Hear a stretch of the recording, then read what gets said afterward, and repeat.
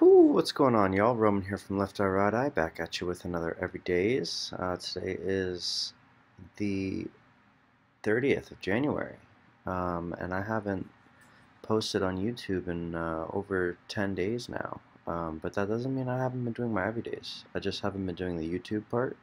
Um, and uh, I feel like enough days have gone past at this point where I'm not really going to explain those 10 videos, so I'm just going to post them without my overdubbing like I'm doing right now. Um, today I also forgot to film my um, I forgot to film my session. So what I'm doing here is just showing you what's up. Um, I opened up the Pro Tools file. Um, I chopped up uh, some comb.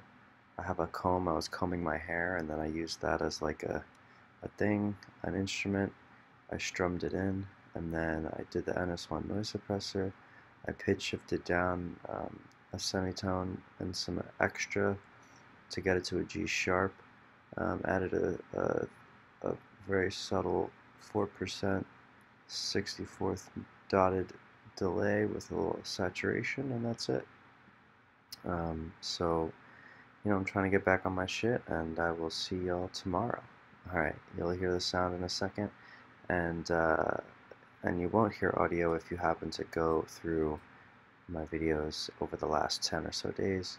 Um, but it's all good. I'll see you tomorrow. God bless.